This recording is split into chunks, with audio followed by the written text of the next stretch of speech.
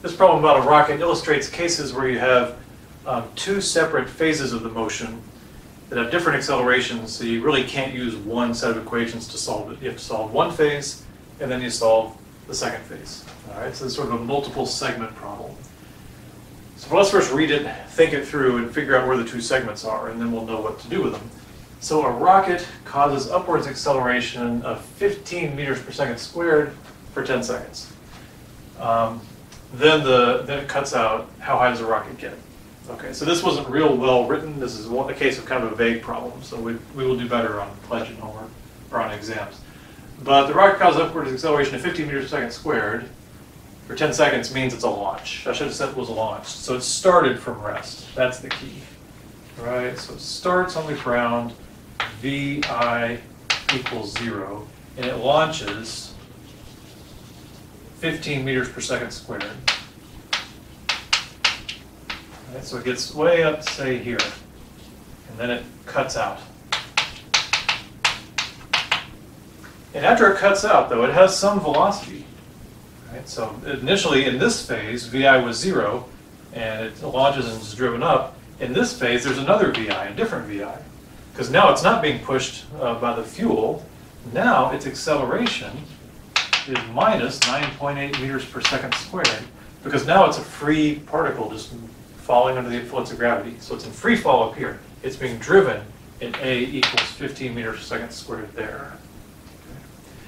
So really the two regions, and then it sort of goes up until it runs out of, uh, its velocity goes to zero and it hits the top where V equals zero.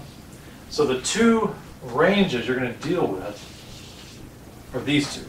Here is the powered flight 15 meters per second squared for 10 seconds, and then however high it goes after that. All right?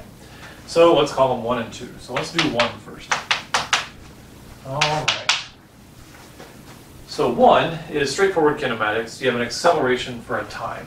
So you just say the final position equals the initial position zero plus the initial velocity times time, but that's zero, initial velocity, plus one half a, 15 meters per second squared, times time squared. So 10 squared is 100, 1500 divided by 2, we find in this first phase, it gets up to 750 meters. That's not the answer. That's basically here.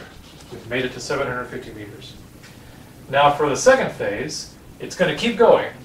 Okay, now remember, you can have negative acceleration and positive velocity. It's just that it's slowing down. Okay? When velocity is one way, acceleration is the other way, slowing down, and eventually it'll stop. It'll go it'll slow down to zero, and then it'll start to fall. So we just care about how high it gets. We care about the point when it reaches v equals zero. Okay, so basically we have free fall with an initial velocity. That's all we got to do. Except, look, we don't know the initial velocity. We can calculate it pretty fast, though, because we know we went 15 meters per second squared for 10 seconds. That's just v final equals v initial 0 plus acceleration times time. All right, so we know the final velocity of that thing is 150 meters per second. That's, that's right here. This VI is 150 meters per second. So then uh, we can say how high does it really get then? We can actually apply this equation one time now for the final answer because we can treat this 750 as just an initial uh, position. Right? So the actual answer is initial position 750 uh, plus the uh, initial velocity times time 150. Oh, we don't know time. Oh shoot, we forgot to time. Well, actually, we do know time. We can get it pretty quick because we know now it's at 150 meters per second, and we know it's decelerating. It's, it's got a negative acceleration of 9.8 meters per second. So we can apply uh, basically this again, and we say we want this to be zero, and the initial is 150, and this is negative 9.8 times t, so it's really just 150 over 9.8. So now we write it in here like that, 150 over 9.8. That's how long this phase lasts. It's how long it takes to take that 150 meters per second and drive it to zero with negative 9.8 meters per second squared. So that's uh, xi plus vi t plus 1 half negative 9.8, and then this t squared, 150 over 9.8 squared. So add all that up, and you get, let's see, this is, uh, you get these together like 3,000 and something, this is minus 1150, and you get 1896 meters. And that's the full answer, because in this long equation, this standard kinematics equation, we did include the initial phase. Um, the one shortcut you could do for the second phase is you could say, well, we have the initial velocity and it decelerated and we want to know how far it got. And you can use the shortcut equation. Rather than using uh, this and this, you could also say in phase two, let's see, phase two started here. In phase two, V final is zero. V final squared equals V initial squared. Uh, V initial squared we know was 150 squared.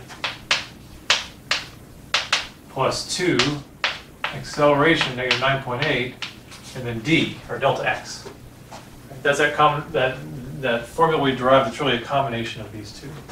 So you turn that around and you solve it, and you can get D for that part was 1148 meters. That's how far it went up with an initial velocity of 150, and you add that to the 750 and you get the same thing, about 1896.